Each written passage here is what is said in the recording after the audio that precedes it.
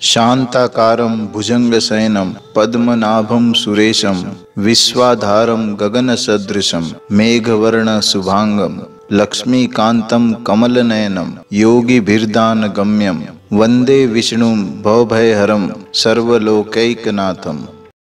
कृपया सब्सक्राइब कीजिए हमारे चैनल को तथा यह घंटी पर क्लिक अवश्य करें। नया ज्ञानवर्धक वीडियो सर्वप्रथम देखने के लिए।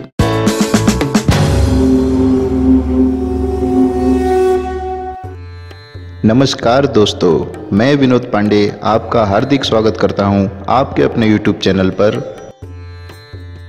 वैदिक विधान कहता है कि दशमी को एक आहार, एकादशी में नीराहार तथा द्वादशी में एक आहार करना चाहिए। हिंदू पंचांग के अनुसार संपूर्ण वर्ष में 24 एकादशियाँ आती हैं, किंतु अधिक मास की एकादशियों को मिलाकर इनकी संख्या 26 हो जाती है। भगवान जी को एकादशी तिथि अति प्रिय है, चाहे वह कृष्ण पक्ष की हो अथवा शुक्ल पक्ष की। इसी कारण इस दिन व्रत करने वाले भक्तों पर प्रभु की अपार कृपा दृष्टि सदा बनी रहती है। अतः प्रत्येक एकादशियों पर हिंदू धर्म में आस्था रखने वाले भगवान श्री विष्णु जी की पूजा करते हैं तथा व्रत रखते हैं। किंतु इन सभी एकादशियों में से एक ऐसी एकादशी भी है, जिसका व्रत करने से संतानहीन अथवा पुत्रहीन जातकों को संतान सुख की प्राप्ति अति शीघ्र हो जाती है। पुत्र सुख की प्राप्ति के लिए किए जाने वाले इस व्रत को पुत्रदा एकादशी का व्रत कहा जाता है। पद्म पुराण के अनुसार जिन दंपतियों को कोई पुत्र नहीं होता, उसके लिए पुत्रदा एकादशी का व्रत अत्यंत महत्वपूर्ण माना गया है।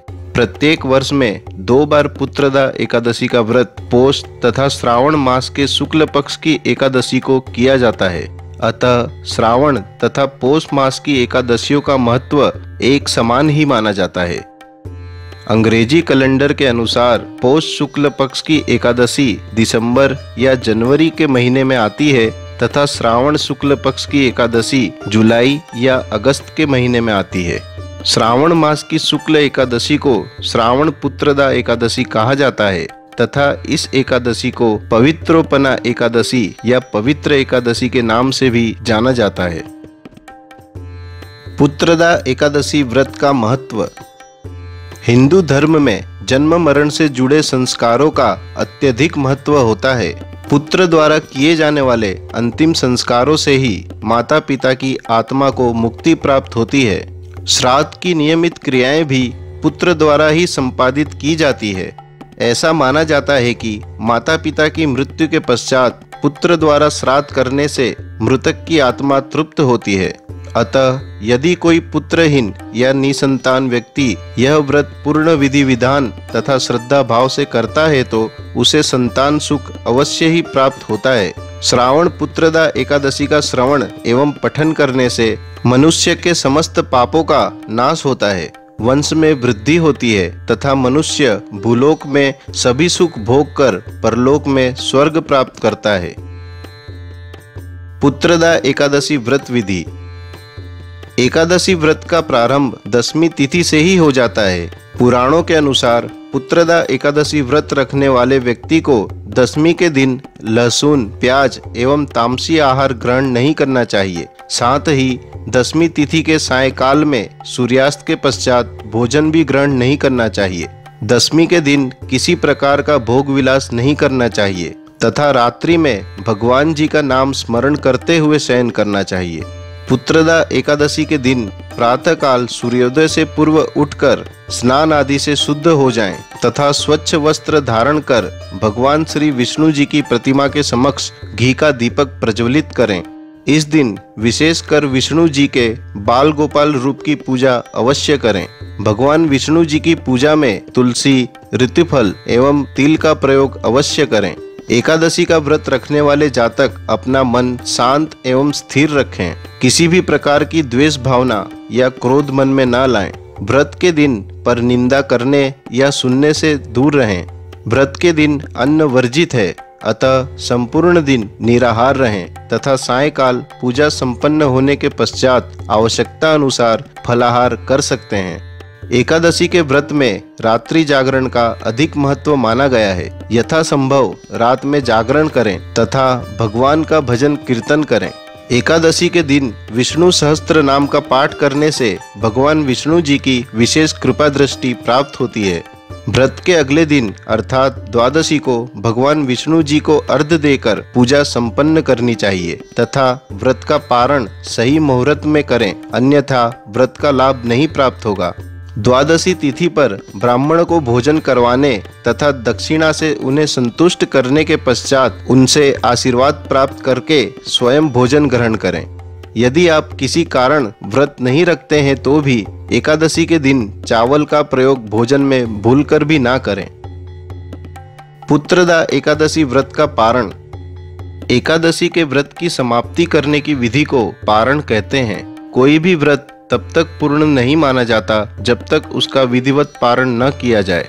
एकादशी व्रत के अगले दिन सूर्योदय के पश्चात पारण किया जाता है। ध्यान रहे, एकादशी व्रत का पारण द्वादशी तिथि समाप्त होने से पहले करना अति आवश्यक है। यदि द्वादशी तिथि सूर्योदय से पहले समाप्त हो गई हो तो एकादशी व्रत का पारण सूर्योदय के पश्चात ही होता है। द्वादशी तिथि के भीतर पारण न करना पाप के समान होता है। एकादशी व्रत का पारण हरिवासर के दौरान नहीं करना चाहिए। व्रत तोड़ने के लिए सबसे उपयुक्त समय प्रातःकाल होता है। व्रत करने वाले श्रद्धालुओं को मध्यान्ह के दौरान व्रत तोड़ने से बचना चाहिए। जो भक्तगण व्रत कर रहे हैं, उन्हें व्रत समाप्त करने से पहले हरिवासर समाप्त होने की प्रतीक्षा करनी चाहिए। हरिवासर द्वादशी तिथि की पहली एक चौथाई अवधि होती है। यदि कुछ कारणों की वजह से जातक प्रातःकाल पारण करने में सक्षम नहीं है तो उसे मध्यान्ह के पश्चात पारण करना चाहिए। पुत्रदा एकादशी व्रत की पौराणिक कथा। सभी एकादशियों के महत्व को सही से व्याख्यायित करने के लिए हमारे ग्रंथों में एकादशियों से जुड़ी पौराणिक कथा प्राप्त होती है। श्रावण पुत्रदा की व्रत कथा कुछ इस प्रकार है। बात उस समय की है जब युधिष्ठिर जी कृष्ण भगवान से कहते हैं कि, हे मधुसूदन, श्रावण शुक्ल एकादशी का नाम क्या है? कृपा करके व्रत करने की विधि तथा इसका महत्व बताइए। कृष्ण भगवान कहने लगे कि, इस एकादशी का नाम पुत्रदा एकादशी है। आप शांति पूर्वक इसकी कथा सुनिए। क्योंकि इसकी कथा सुनने मात्र से ही वाजपेयी यज्ञ का फल प्राप्त होता है।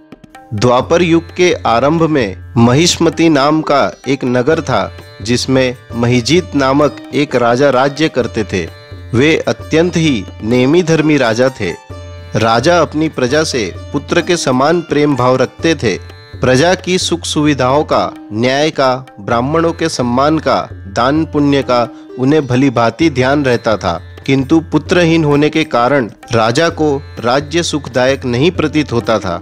उनका मानना था कि जिसके संतान न हो, उसके लिए यह लोक तथा परलोक दोनों ही दुखदायक होते हैं। पुत्र सुख की प्राप्ति के लिए राजा ने अनेक उपाय किए, किंतु राजा को पुत्र की प्राप्ति नहीं हुई। अतः वृद्धावस्था आती देख राजा ने दरबार में ज्ञानवान ब्राह्मणों, पुजारी, पुरोहितों तथा प्रजा के प्रतिनिधियों को बुलाया तथा कहा कि हे ज्ञानियों, ब्राह्मण देवताओं तथा मेरे प्रिय प्रियजनों, मेरे खजाने में अन्याय से उपार्जन किया हुआ धन नहीं रखा है। न मैंने कभी देवताओं तथा ब्राह्मणों का धन बलपूर्वक छीना है। किसी दूसरे की धरोहर भी मैंने नहीं ली। प्रजा को पुत्र के समान मान रहा हूँ। मैं अपराधियों को भी पुत्र तथा बांधवों की तरह दंड देता हूँ। कभी किसी से घृणा नहीं की।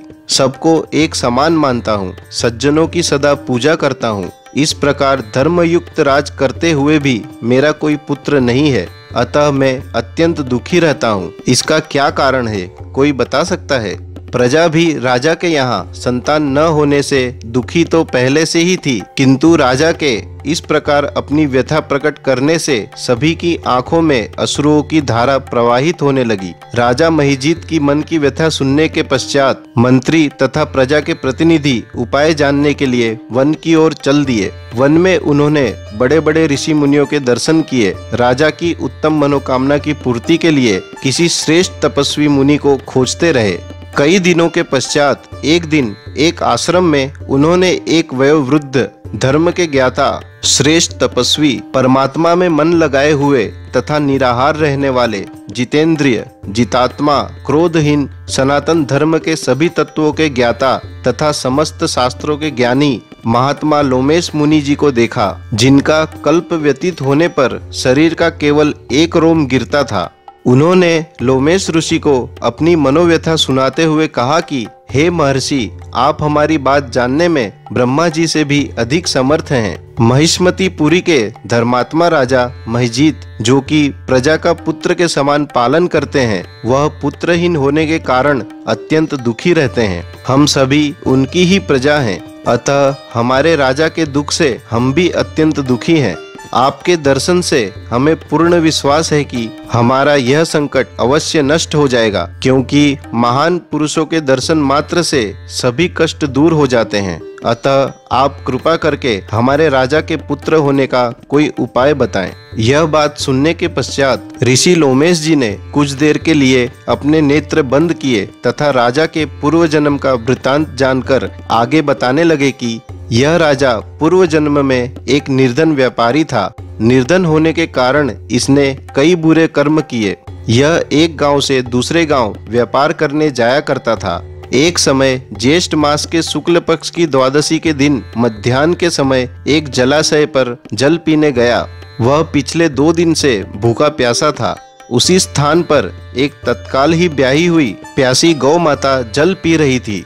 राजा ने उस प्यासी गाय को जल पीते हुए हटा दिया तथा स्वयं जल पीने लगा। अतः राजा को यह दुख सहना पड़ रहा है। अज्ञानवश ही, किंतु एकादशी उपवास संपन्न करने के फलस्वरूप, इस जन्म में वह राजा बना तथा प्यासी गाय को जल पीने से रोकने के कारण पुत्र वियोग का दुख सहना पड़ रहा है। यह सब सुनकर सभी कहने लगे कि, हे श्रेष्ठ ऋषिवर शास्त्रों में पापों का प्रायश्चित भी लिखा होता है। अतः कृपा करके आप ऐसा कोई उपाय बताइए, जिस प्रकार राजा का यह पाप नष्ट हो जाए। इस पर लोमेश मुनि जी कहने लगे कि, श्रावण शुक्ल पक्ष की एकादशी को, जिसे पुत्रदा एकादशी भी कहते हैं तुम सभी यह व्रत पूर्ण श्रद्धा भाव से करो तथा रात्रि को जागरण करो, जिससे राजा का यह पूर्व जन्म का पाप नष्ट हो जाएगा। साथ ही राजा को पुत्र की प्राप्ति भी अवश्य हो जाएगी। लोमेश ऋषि के ऐसे वचन सुनकर मंत्रियों सहित समस्त प्रजा नगर को लौट आई। तथा जब श्रावण शुक्ल एकादशी आई तो ऋषि के आज्ञा अनुसार सभी ने पुत्रदा एकादशी का व्रत तथा जागरण विधि विधान पूर्वक किया, जिसके पुण्य के प्रभाव से रानी ने गर्भ धारण किया तथा प्रसव काल समाप्त होने पर उन्हें एक तेजस्वी पुत्र रत्न की प्राप्ति हुई।